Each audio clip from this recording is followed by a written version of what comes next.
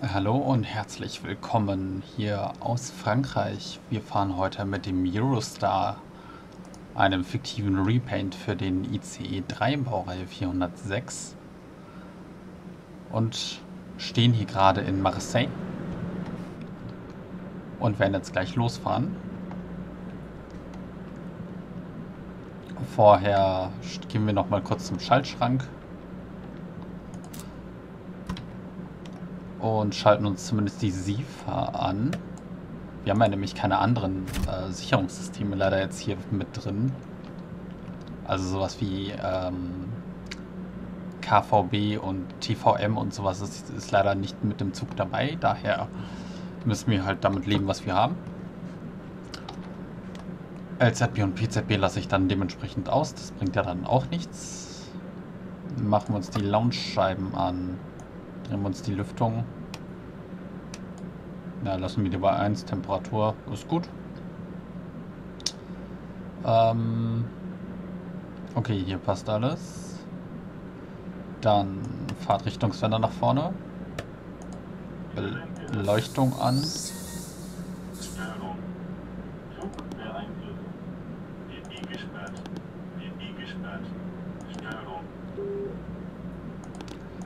Na naja, gut, wir haben jetzt natürlich kein passendes Zugziel, ne? Ähm ja, Brüssel ist noch das von denen, die wir haben, das... Okay, wir haben nur Brüssel und Frankfurt. Ähm Nehmen wir einfach mal Brüssel, auch wenn wir nicht nach Brüssel fahren, aber... Warum nicht? Türen und Riegeln habe ich doch. Oh. ja, auf der falschen Seite habe ich die Türen aufgemacht.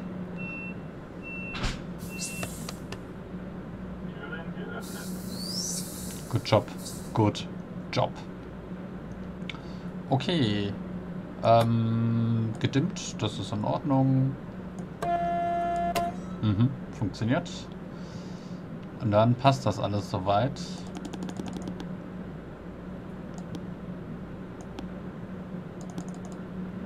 So, Helligkeit noch hoch. Ja, alles andere. Ach so, oh, können wir, das, können wir das ändern? Ah, nein. Schade. Schade, schade. Denn dann hätte ich mal gucken können, ob der richtige Stromabnehmer gehoben wird. Allerdings weiß ich nicht, welcher von denen der richtige überhaupt ist. Das steht aber auch hier nirgendwo, glaube ich, dran, so außen. Ja, und anhand der Schleifstücke und sowas kann ich das persönlich jetzt nicht erkennen, welcher Stromabnehmer deutsch ist. Die sehen auch zudem ziemlich gleich aus. Okay, Türen zu.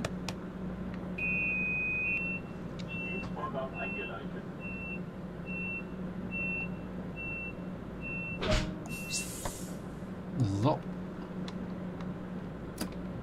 Und auf geht's. Ich hätte noch die AFB anmachen können, ne? Kann ich das nicht? Oh, Moment. Leistungsschalter zurück, AFB-Hebel nach vorne. Ach, hier ist die AFB bei 9. V-Soll-Freigabe. Mhm. So. Dann fahren wir mal aus Marseille heraus.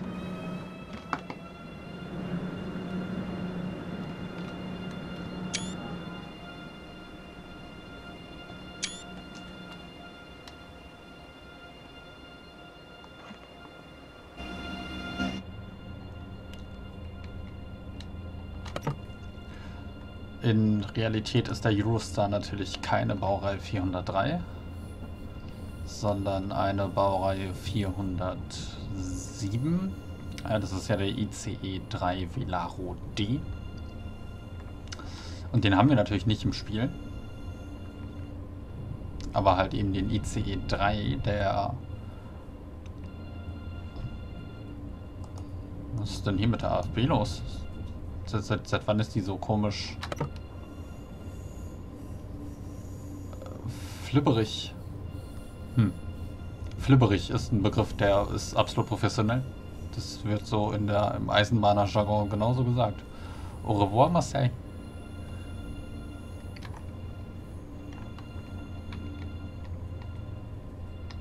Ich... Das, das ist ja dämlich. Ich lasse einfach mal die Leistung runter.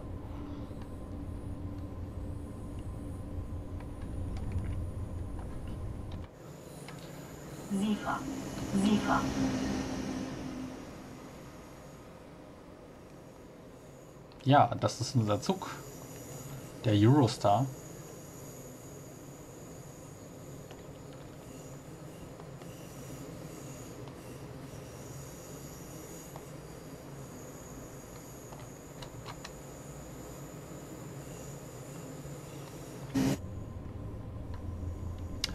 Das Szenario ist von, vom guten Monda aus dem Transom Community Forum. Äh, der Download-Link ist in der Videobeschreibung mit drin. Das Repent ist, glaube ich, ebenfalls von ihm. Auf jeden Fall ist das Repent mit drin in, dem, äh, in der gleichen Datei.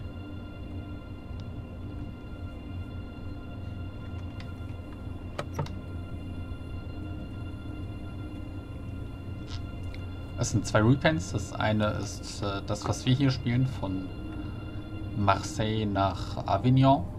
Und das andere Repent ist, äh, Quatsch, das andere Szenario ist praktisch einmal in die Gegenrichtung von Avignon nach Marseille.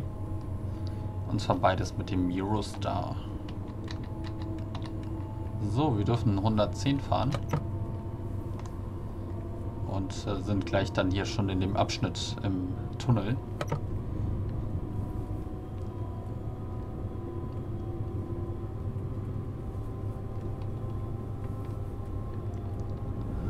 Also ich meine, auch wenn das Szenario an sich, sowohl das Szenario als auch das äh, Repaint fiktiv sind und wir jetzt auch nicht die passenden Sicherungssysteme mit an Bord haben, ich finde das gar nicht mal so schlimm. Sowas kann man mal machen. Sowas macht auch echt Spaß. So, es macht halt immer Spaß, den ICE mal auf, auf Höchstgeschwindigkeit zu fahren. Das können wir sonst eigentlich gar nicht. Ne? Wir haben ja im was, was die deutschen Strecken angeht, haben wir ja keine Strecke, wo wir theoretisch die 300 km/h fahren dürfen mit dem ICE. Von daher bietet sich das hier ziemlich gut an.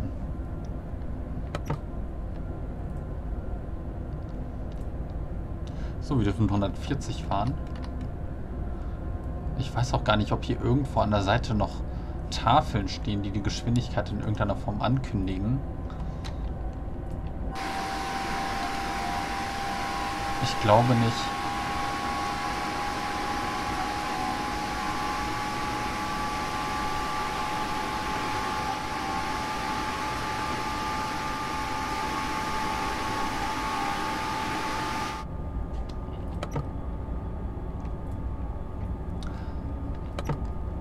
Dabei ist übrigens die ähm, Wolkenmod, ebenfalls aus dem Trains im Community Forum. Die gibt es mittlerweile auch konvertiert für die für das Engine Upgrade und damit sieht doch der Himmel um einiges schöner aus, zumindest bei gutem Wetter. Bei schlechtem Wetter gefällt es mir ehrlich gesagt nicht, da finde ich es immer ein bisschen zu hell. Also dann finde ich den Himmel einfach zu hell, wenn es richtig regnet und ja, schön gewittert. Aber hier so, wenn man bei so schön sonnigem Wetter fährt, dann ist die Mod natürlich ein Segen. Das sieht, das ist der absolute Wahnsinn.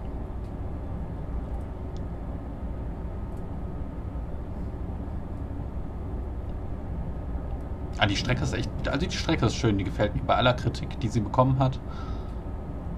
Ähm,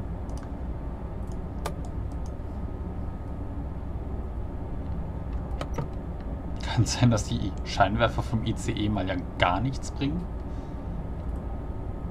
Ich bezweifle stark, dass das in Realität auch so ist. Also es hat was, man, man hat schon das Gefühl, man ist hier in, schon in Frankreich unterwegs. Definitiv so. Wenn ich mir jetzt die Landschaft angucke, hier standen ja zu Release, war ja diese Landschaft noch voller Bäume.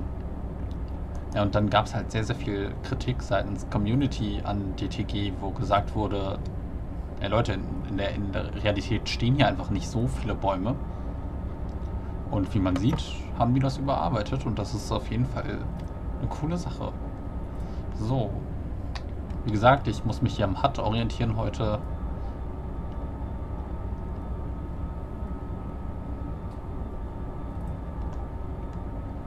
Dann dürfen wir jetzt die 300 fahren.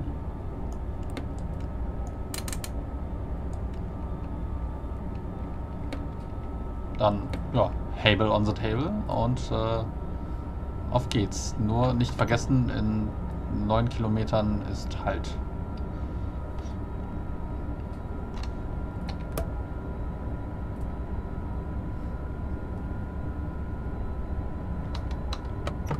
Ja, ich finde es ohne Beleuchtung schöner.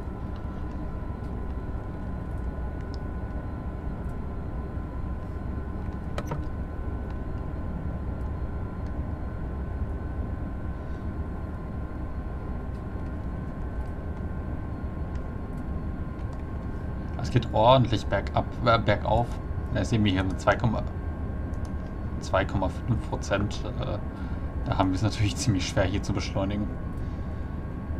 Vor allem verlieren wir ja in diesem Sinne im oberen Geschwindigkeitsbereich immer mehr an Leistung in diesem Sinne, an Kraft. Ist ja logisch. Ist ja reine Physik. Natürlich je schneller wir werden, desto schwieriger wird es zu beschleunigen, denn ansonsten könnten wir in der Theorie unendlich schnell werden, was selbstverständlich nicht möglich ist.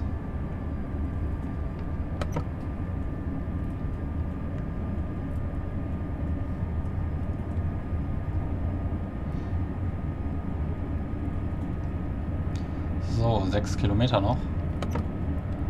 Wir fahren 200. Ach, schön die Soundkulisse.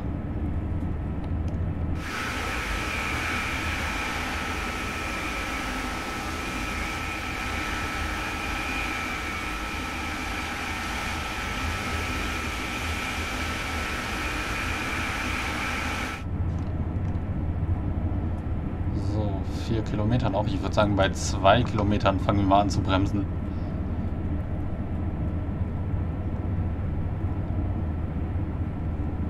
Beziehungsweise wir können jetzt eigentlich schon mal die Leistung rausnehmen.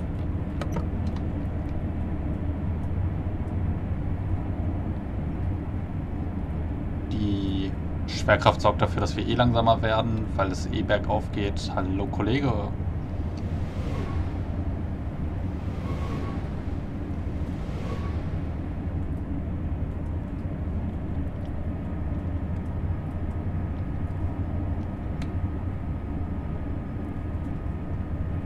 Und wir bremsen.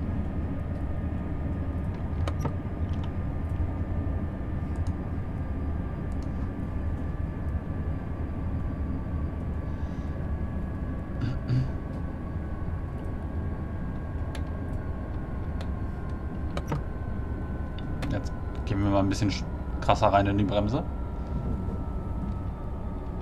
Noch mehr.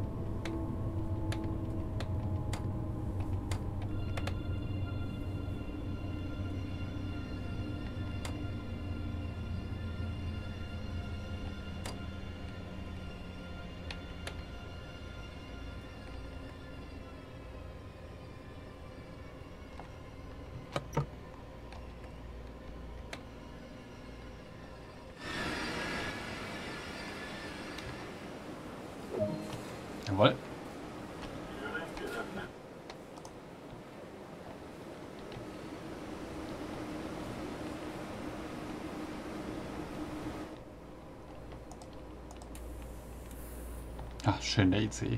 Ein wahnsinnig schöner Zug. Oh, wir können mit der Kamera durch den Zug durch. Aber hier komme ich nicht weiter. Hm. Schade. Ich dachte schon. Huch.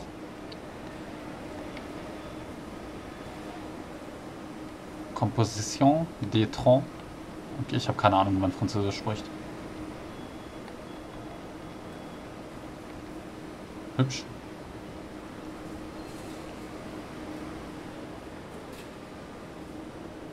Irgendwie stört mich hier dieser weiße Streifen im Zug.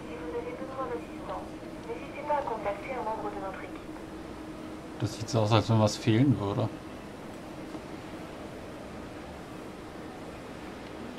Repere. Re, repere. Re, äh, was auch immer. System de Videoprotection.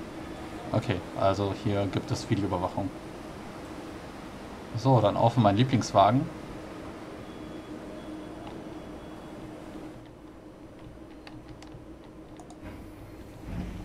Hallo, ich würde gerne hier einmal... Oh nein, das Bordbistro ist zu.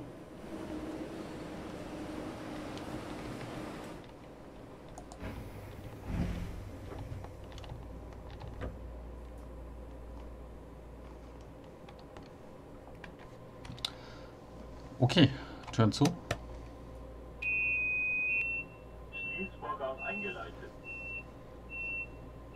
Kann er das auch auf Französisch sagen? Bestimmt.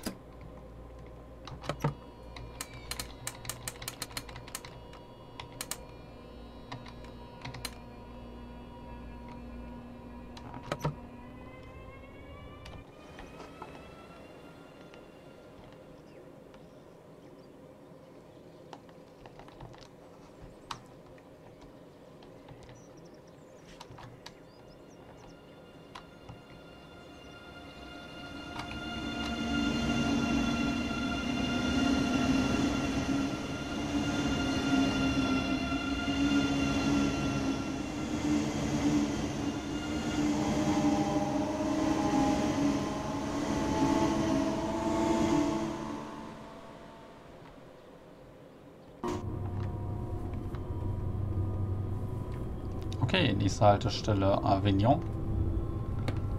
Was also heißt, gib ihm. Bis dahin können wir durchziehen.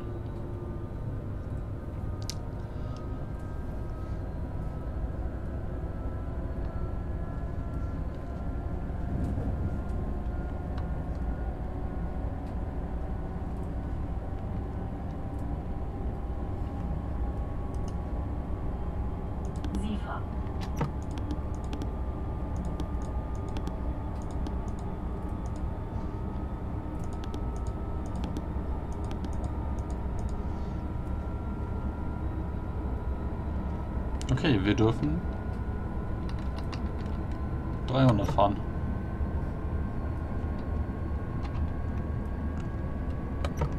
Dann versuchen wir das auch mal.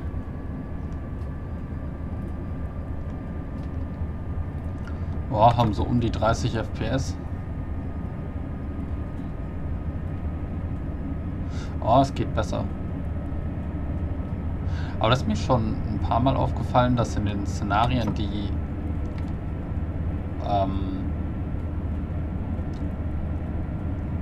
durch den Szenario-Planner erstellt werden, dass die tendenziell dazu neigen, eine etwas geringere Anzahl an FPS zu haben als die normalen Timetable-Fahrten. Ja, als wir nämlich beim letzten Mal hier schön auf der Strecke unterwegs waren, ganz normal im Timetable, da hatten wir definitiv um die 40, 45 FPS die ganze Zeit gehabt. Und hier sind es jetzt nur 30, obwohl eigentlich nicht so viel los ist auf der Strecke. Na gut, jetzt haben wir die 40. Naja. Na, passt.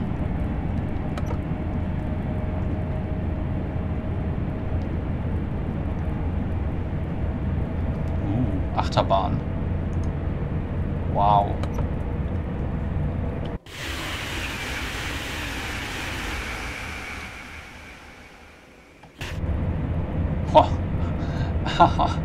Dieses Geschwindigkeitsgefühl, das ist der absolute Wahnsinn. Ich weiß nicht, ob man das im Video auch so nachvollziehen kann, aber ähm, es fühlt sich halt schon gerade an wie Achterbahn. Definitiv.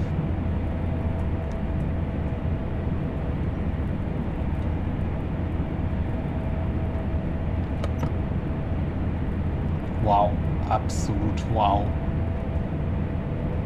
Also, Hochgeschwindigkeit ist schon sehr faszinierend.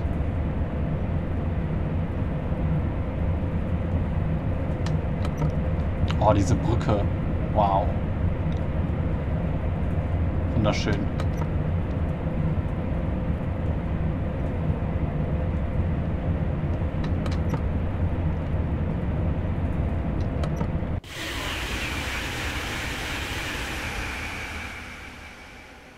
Und weg sind wir hübsch.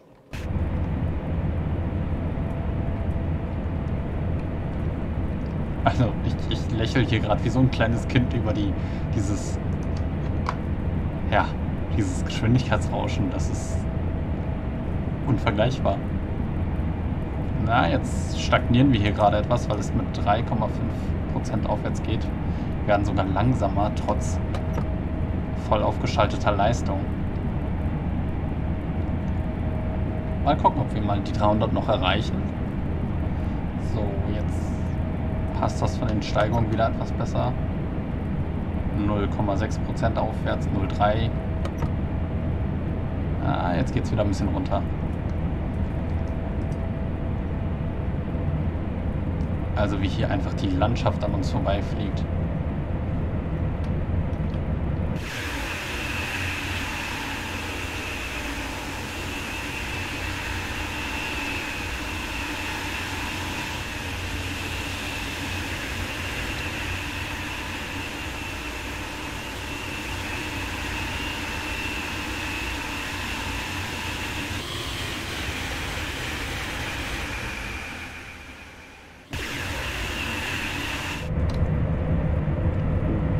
wir haben, wir haben die 300 fast geknackt.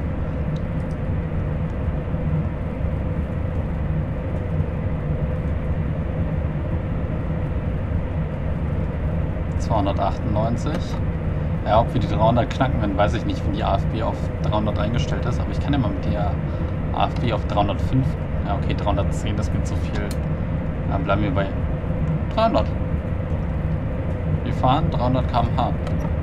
Wow. Bin mal kurz still, das muss man einfach genießen.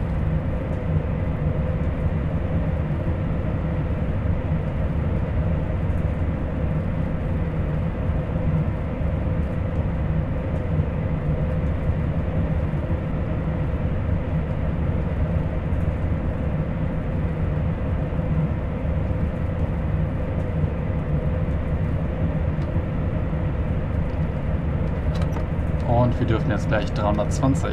Ich stelle schon mal die AFB hoch. Wow. Wow. Wow. Wow. Vor allem, wenn ich still bin, dann hört man richtig die, diese Soundkulisse vom ICE 3, die ja wirklich richtig gut ist.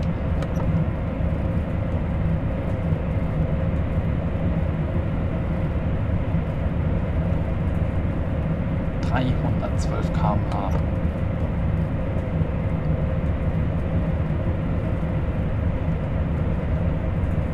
Und wir haben immer noch 35 FPS. Wow.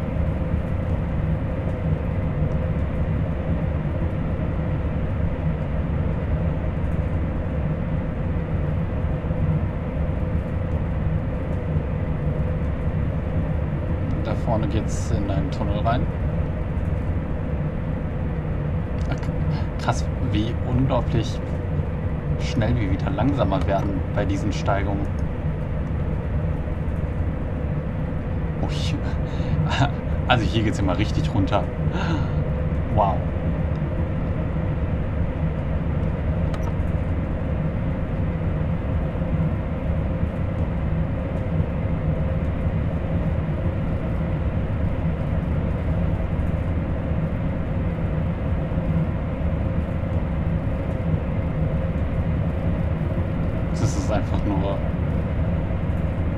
schön. Das sieht auch super schön aus mit diesem mit diesem Dunst, der da hinten ist.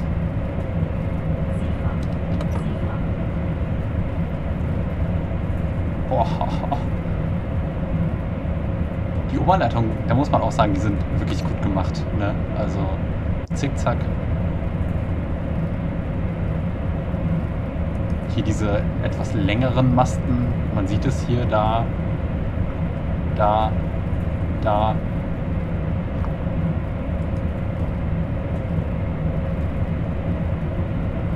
Also good job DTG, good job, wirklich.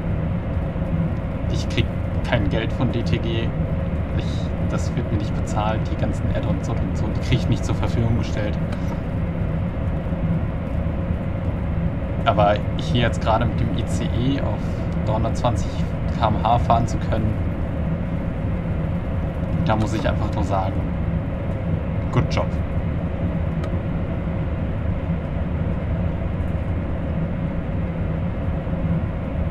Oh. Ups. Das war nicht so ein good job. Aber das passiert manchmal auch im Szenario Planner, dass irgendwie die Mittelwagen nicht geladen werden, warum auch immer nicht. Also ist jetzt auch nicht zum ersten Mal in einem Video mit, mit drin passiert. Ich weiß nicht, woran das liegt.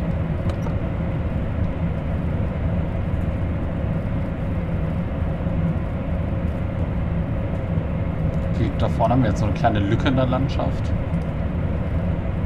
Das ist natürlich nicht ganz so schön, aber wenn wir so gucken, dann merkt man das fast gar nicht.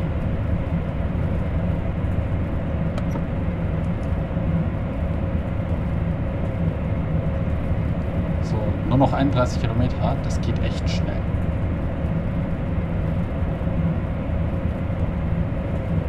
Ich würde gerne mal als äh, Passagier mitfahren. Bei 320 km/h. Vielleicht mache ich das einfach gleich noch nachdem, nachdem ich dieses Video beendet habe. Das Szenario nochmal starten, allerdings als äh, Fahrgast.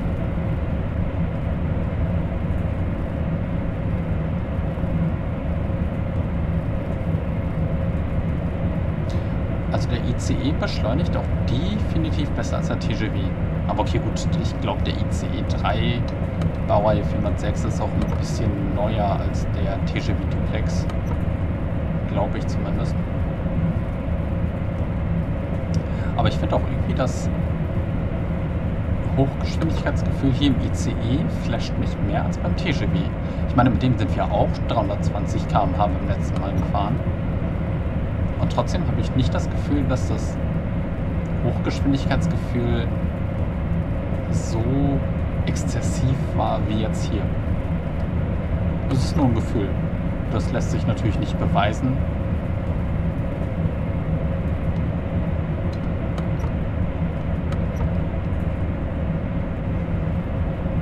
Aber wie seht ihr das? Dieses Hochgeschwindigkeitsgefühl im ICE, das kommt schon, glaube ich, echt gut rüber, oder?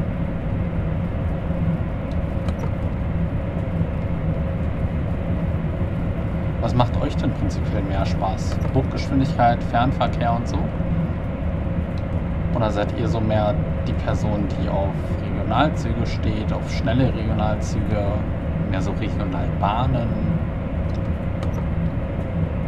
Oder gehört die eher zu den Güterzugfahrern und Fahrerinnen.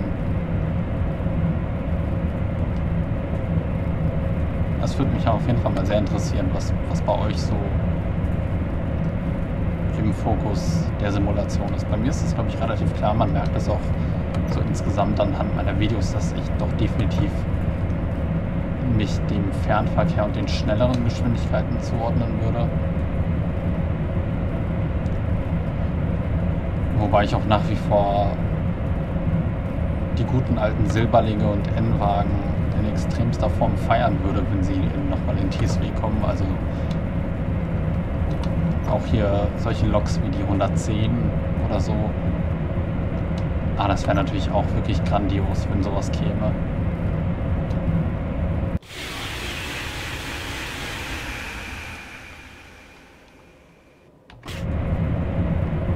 Also das würde ich dann auch genauso sehr feiern wie äh, Hochgeschwindigkeit. Ich meine, ich bin auch nicht mal so von allen ICE-Generationen zum Beispiel ein großer Fan. So der ICE 4 ja, ist cool, aber da hätte ich persönlich andere Prioritäten. Was den Fernverkehr angeht, klar, so ein ICE 1 wäre schon sehr, sehr cool, aber eine Baureihe 120, das würde ich auch sehr, sehr, sehr cool finden. Vor allen Dingen, wenn vielleicht da der Steuerwagen noch mit dazu käme. Ich meine, ich bin mir sicher, über die Jahre hinweg wird sich der Transim World füllen mit Content. Und von heute aus gesehen, in fünf Jahren wird es mit Sicherheit die Baureihe 120 im geben. Da bin ich mir relativ sicher. Und die Frage ist natürlich aber, wann kommt er und wer stellt ihn her? Denn äh, ich glaube, es gibt mittlerweile einige interessierte Third-Party-Hersteller. Ne? Also ihr wisst ja Bescheid, Trains in, Trains in Germany ist natürlich einer der Third-Party-Hersteller, die schon Content herstellen. Und so wie ich es mitbekommen habe, gibt es wohl auch Pläne, nur ganz vage gesagt, Pläne seitens 3D-Zug bzw. Matthias Gose ebenfalls im TSW-Bereich Content herzustellen, wobei 3D-Zug dann, das ist der, so wie ich es mitbekommen habe, der aktuelle Plan. 3D-Zug würde dann die 3D-Modelle der Züge liefern. Also mal angenommen, 3D-Zug baut dann das Modell des beispielsweise ICE 1 und arbeitet dann aber mit anderen Third-Party-Herstellern zusammen oder vielleicht mit DTG, wer weiß. Und dieser Partner ist dann wiederum dafür verantwortlich, dass der Zug dann auch funktioniert. Also dass, äh, dass der dann auch am Ende fährt, dass er die, vielleicht die entsprechenden Sounds auch hat. Also wie genau das aussieht, weiß ich nicht. Das ist jetzt auch in diesem Sinne mehr Spekulation als Wissen von mir. Ähm, Okay, in 2,7 Kilometern 170. Dann sollten wir mal langsam schon mal bremsen.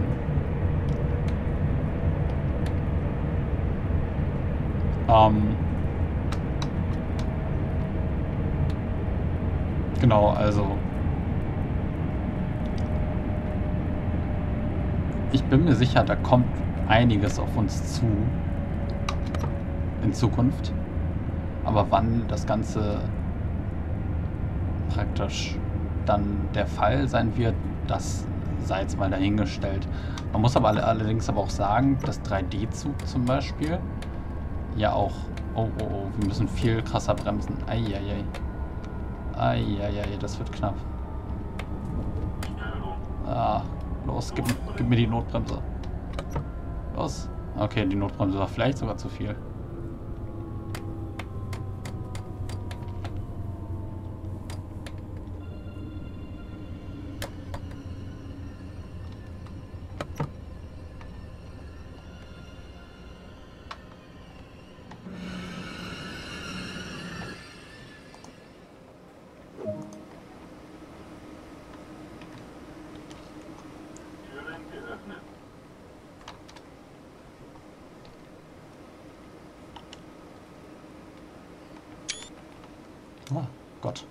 Frau, Sie haben mich erschreckt. Ähm, genau, wo war ich? Ähm, ja, 3D-Zug und äh, eine mögliche Involvierung im TSW. Was natürlich bei 3D-Zug ziemlich interessant ist, ist die Tatsache, dass äh, die ja praktisch jetzt schon ja bei ihren Modellen, die sie für den Train Simulator herstellen, da auch schon ziemlich gut ausmodellierte Zugmodelle haben. Ja, also beim Train Simulator ist es ja eigentlich unnötig, dass die Innenräume ausmodelliert werden, weil man sich ja in diesem Sinne nicht als eine Person durch die Welt bewegen kann, sondern nur eine Kamera ist, wenn man es so möchte. Und äh, 3D-Zug hat aber trotzdem extremst viele ihrer Züge schon vom Innenraum her sehr, sehr akkurat ausmodelliert, wo man natürlich sagen kann, ja, das erspart ihnen vermutlich in irgendeiner Form Zeit. Das würde den Zeit ersparen, weil gewisse Grundlagen von 3D-Modellen existieren ja schon.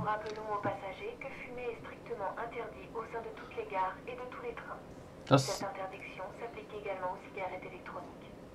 ja, das, das hätte ich auch gesagt. Ähm, aber okay, das, was ich jetzt gerade hier alles gesagt habe, das ist wie gesagt alles nur Spekulation. Und davon ist in diesem Sinne... Moment, ich habe die Türen gar nicht aufgemacht. Linke Türen gesperrt. Hä? Die Türen waren noch offen.